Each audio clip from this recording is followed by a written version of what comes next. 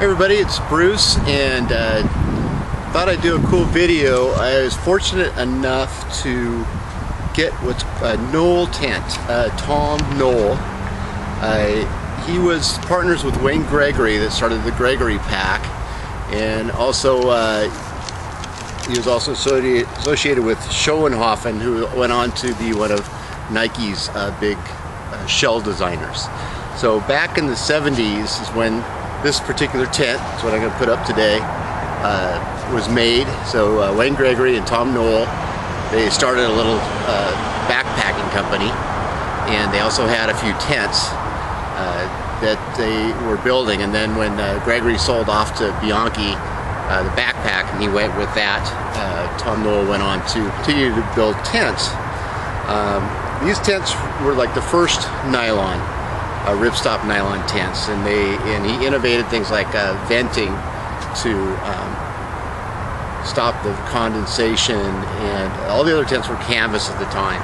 And also, uh, Schoenhofer was the one where he got the those tent poles, and they're so they're aluminum poles. Um, so this is way back before we all take it for granted. And these are actually the press fit way back in the 70s. Um, and I was lucky enough to get a uh, the brochure came with it. And this particular tent is uh, the Eclipse um, three season. Let me see, uh, two ounce cotton nylon taffeta. The fly is uh, one and a half ounce coated ripstop. Um, the all-weather model, which are three season model, is six pounds four ounces, which I'm assuming that's what this is. Um, but I know I know he did a lot, or maybe it's five pound, 15 ounces, like Eclipse Mountaineer. There's a lot of uh, you Tom uh, Noall would do a lot of custom work for people. Um, you could get certain zippers done on it. Um, the guy I bought this for, he uh, was along with all those guys, and, and he would have have uh, some extra things done. I haven't put it up yet, um, so we're gonna put it up right now. Full bag. Rain fly. Rain fly, ventilator of course. This must be the tent. Uh, just neat to see some of the cordage that they used back then. Uh, very reminiscent of what we have today, but, but uh, of course our stuff now is incredibly stronger and better made. This is state of the art back then, so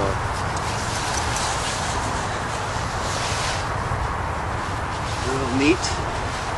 Yeah, so this is 1970s. The 1970s uh, circa.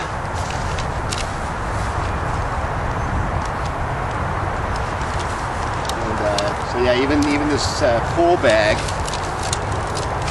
made different from uh, Schoenhofer.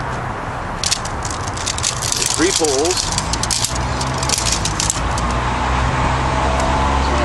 Brow pole. We'll see. I haven't put it up yet. So put it all together. Already has some curve to it, It's pre-curved. Um, at Easton, what I understand, is the they were the first to make aluminum arrow shafts. That's kind of where this stuff came from. Looks like it's a sleeved tent.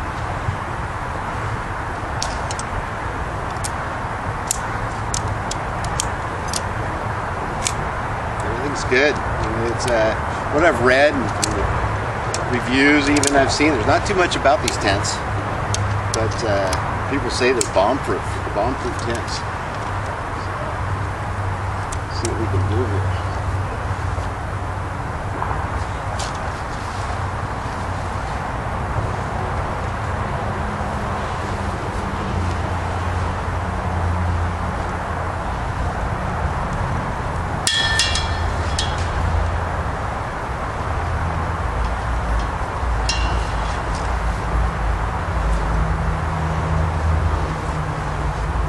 color cordage on here. So like a complete idiot. Helmets. This one. Oh, I missed one.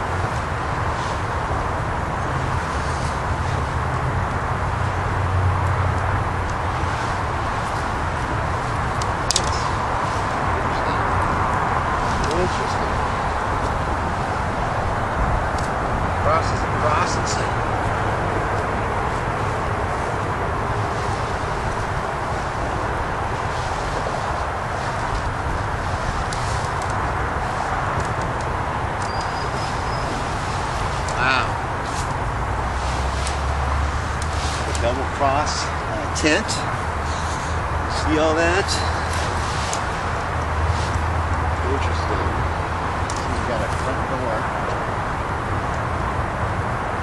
Front door. Let's turn it around. Okay. Glass pole. Here.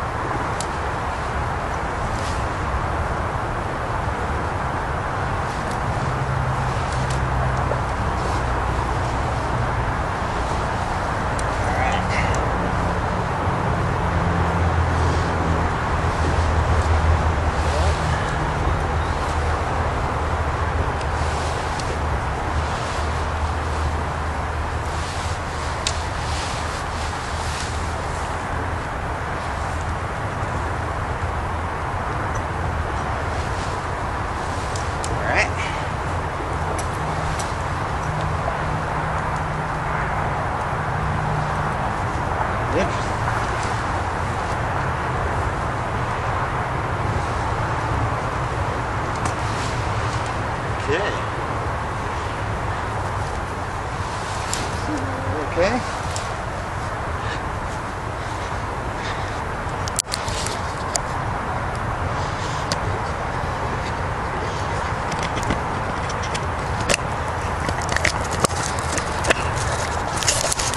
All right, let's take a quick look before I put the rainfly on. So this is the door there.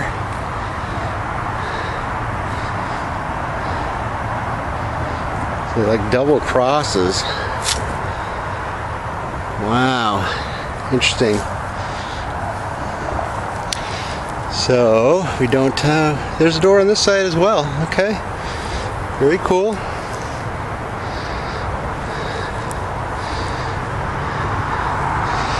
It's even got a tub floor on it. So we got a little repair. But, uh, you know, the guy said there was a repair, but he had uh, some local seamstress do it. Let's take a look at the inside here.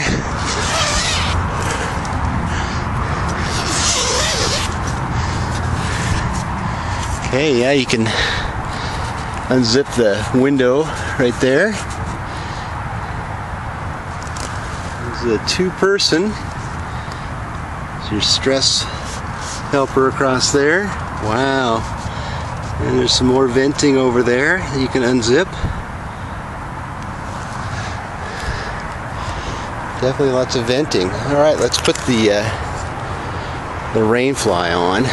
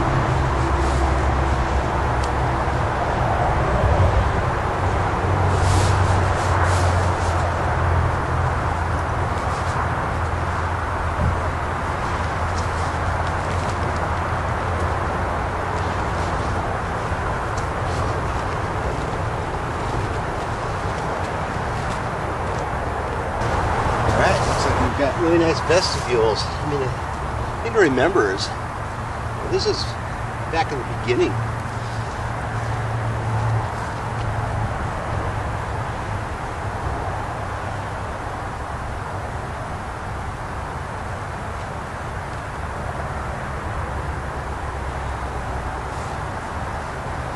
some uh, adjusters, some tensioners on the fly. That is amazing. Let's take you a little trip around so we have a vestibule.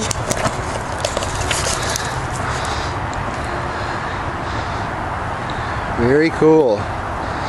Vestibule, both sides.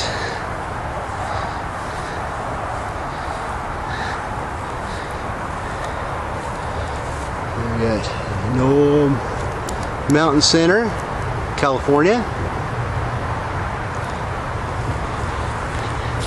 A lot of these guys, uh, you know, they all started out at the same time.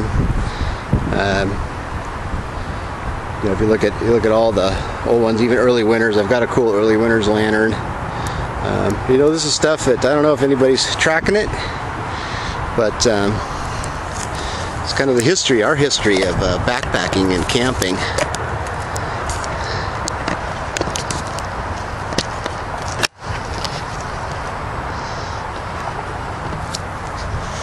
All right, let's uh, see how this goes. Velcro.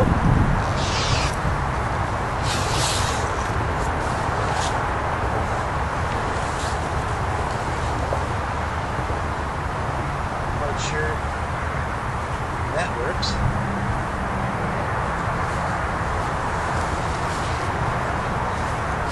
Let's resituate you.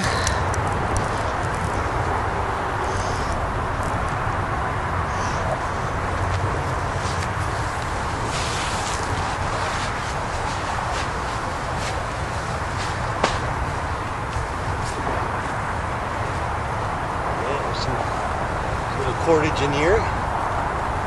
Uh, you know, definitely, I guess I could see, you know, with a two-man type of situation like they do today, but, uh, you know, one person, this thing's phenomenal. Uh, feel the waterproofing, uh, the rubberization. But, you know, you know, I'm going to try and uh, keep finding some of this great old stuff.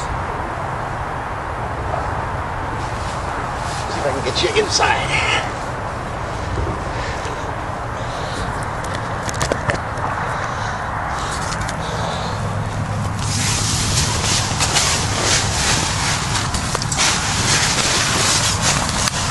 All right. There's the interior. Um, so this is all no-see-um up above, and that's a, another no-see-um door down there. Uh, you can unzip. No-see-um on the doors that you can unzip. You know, this is just you know, the coolest ever. Way back when. Still lamp hanger.